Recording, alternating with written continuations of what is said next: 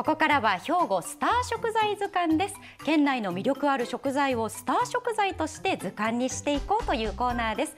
今回から神戸市西区編になりましたけれども井川さん西区の印象というのはいかがでした？そうですね。もう神戸は広い。広いね広い、うん広くて、ええ美味しいものがたくさんありますよ美ね味しいものに溢れてるその中の美味しいものを今日またね、はい。収穫されてきたということでその VTR、はい。振りをお願いしてもよろしいでしょうか、はいえー今回は甘いイチジクを、えー収穫してきました。それでは VTR どうぞ。神戸市西区にやってきました。なんだそれ。神戸市ねはい西区といえば、私はあのちっちゃい頃ずっと住んでましたし、井川さんにとってもゆかりがあるってそう自分もそうオリックスの寮で西区に住ん。でましたね、住みよさそうな町です。そうです。途中もなんかニュータウンあったりしてねね。なんかいい感じのところですよね、そんな神戸市西区のスター食材は神戸いちじく8月から10月にかけて盛んに栽培されていますあ西馬さんですか？今日はよろしくお願いします。お世話になります。お願いします。こういうところ。お世話になるのは神戸西いちじく部会の西馬良一さんです。いちじくなってるのって見たことないですよね。ねいちじくってこう下からずーっとこう熟していく。今日はもう朝からちぎってはい。収穫してもう出荷して。もう早っ。もう朝からって何時ぐらい？朝は1時2時もう夜ですよ朝じゃない？夜？あの電気つけて暗いうちからこれ何年ぐらいされてるんですか？このいちじくのこの。40年ぐらい。大ベテランさんで。神戸市西区は温暖な気候からイチジクをはじめブドウや梨など果樹栽培が盛んな地域です。神出町や伊川谷町などで栽培されるイチジクは神戸イチジクと呼ばれ都市に近い立地を生かしてギリギリまで完熟させてから収穫しています。果実が雫の形をした麻酔銅品という品種で芳醇な香りと程よい甘さが特徴です。先日行われたイベントでは採れたてのイチジクを求めて朝から多くの人が訪れていました。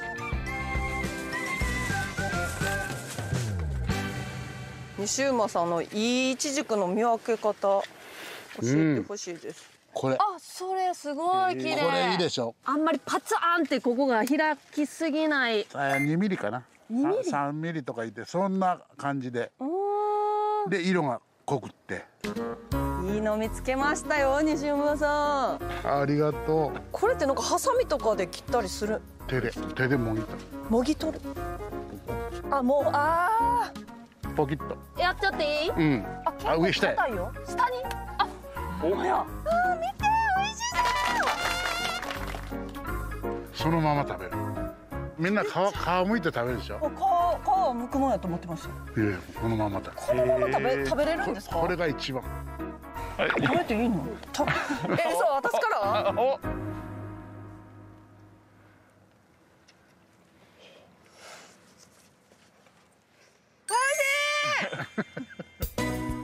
めちゃめちゃ美味しい。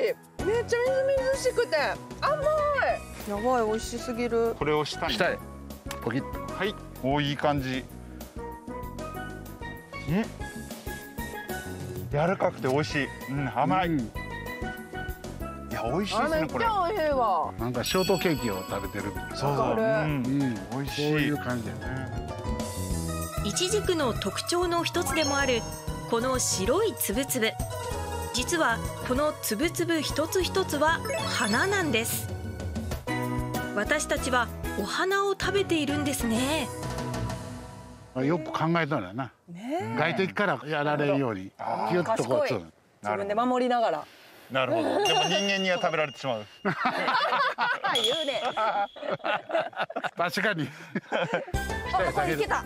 おお上手あ綺麗ね。あいい感じじゃないですか？これ危ないな。落としそう。あ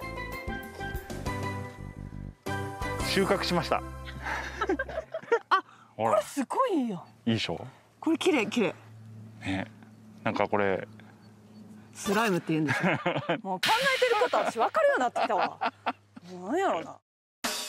その他病害に強いウイルスフリーの苗木を育てたり栽培を始める人への研修を積極的に行うなど収穫量を増やす取り組みも進められている神戸いちじく現在およそ15ヘクタールの圃場で250トンものいちじくが生産されています。西馬さんのこれからの目標って何ですか？今部会長してるんですけどあはいぱりあの次の担い手がね、えーとひあ引き継いで知ってくれる人たちがやっぱりあの喜んで栽培していただくのが一番目標ですね。ということで神戸市西区の神戸いちじくをスター食材に登録いやーもう本当に回を増すごとに一条さんとのコンビ感空気感が素晴らしい。スライム。スライム言わせてもらえなかったんですね。そうですね。もう読まれてますよね。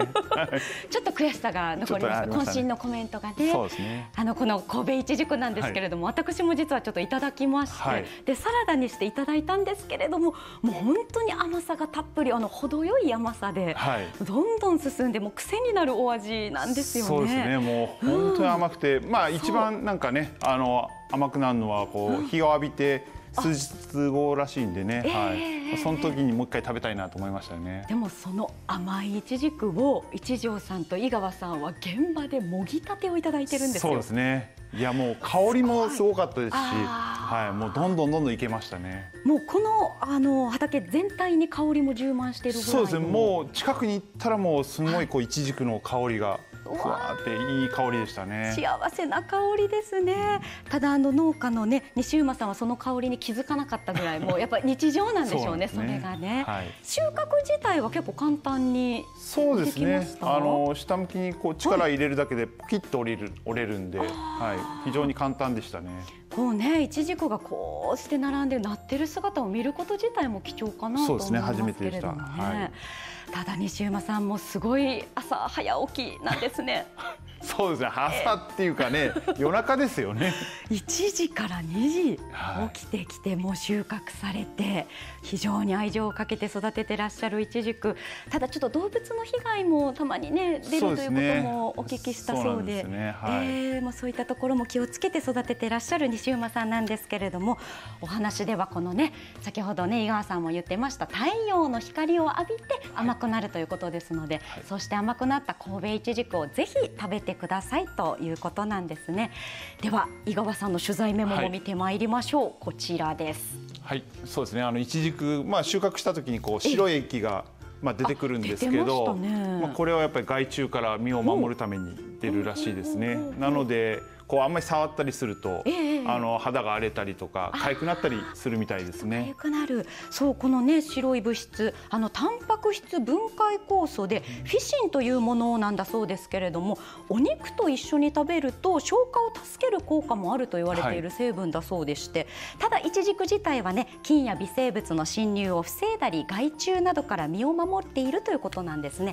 もちろん食べても害はないということですが、こういったことも非常にお勉強になりましたしあの実だと思っていた部分が花だったっていうのは井川さんご存知でした？いや自分もあのその場で聞いてちょっとびっくりしましたね。はい。ねえ我々お花を食べていたんだというね、非常に勉強にもなるこの収穫編でした。